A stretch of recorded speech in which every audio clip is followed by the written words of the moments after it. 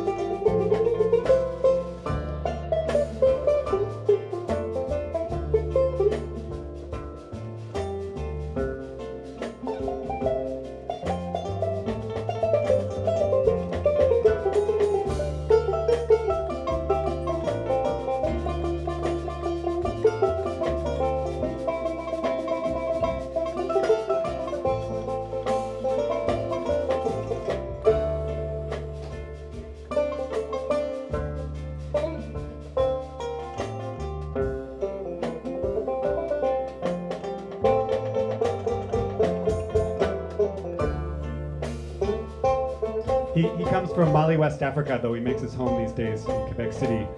I first heard his music and met him um, four years ago, and I was smitten. So so much so that I, I spent a few months in Mali a couple years ago preparing to make a record with him. He's one of my favorite musicians in the whole wide world. Mansa Sissoko.